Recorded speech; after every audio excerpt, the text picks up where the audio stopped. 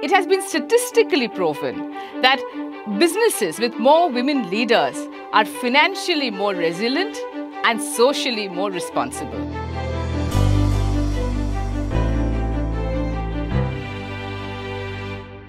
In India, we have a problem. Women's workforce participation has been declining for the last 15 years. This is a trillion dollar opportunity for India because these women today are not adding to our economy. What can we do as a society to change this equation? One, look at the women around you. Ensure that you help them find great mentors and role models who can show them the way forward in terms of pursuing amazing careers.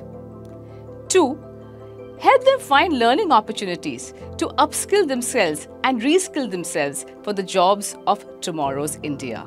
And three, help them find great communities and safe spaces where they can find like minded women who also want to succeed in their careers. There is a fourth point though.